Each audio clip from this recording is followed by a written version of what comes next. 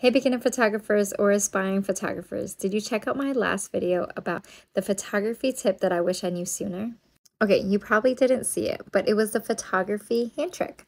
This is the hand trick where the back of your hand is the subject's face. So that was backlighting, this is side lighting, and this last one is front lighting. So here's my two and a half year old son as my model, and here's me grabbing him with an ice cream cone. It worked. So I had my son facing this way to show you backlighting. Here's the result from that video. As you can see, the light is coming from behind him and it's giving this halo effect. Then I turned him to show the sideline. And here's the result from that video. As you can see, the light is coming from his left side. So when the light is coming from the side, it's called side lighting. And I turned him around for front lighting. In the previous video, it was kind of cloudy, so you really didn't see all of that sun in his face.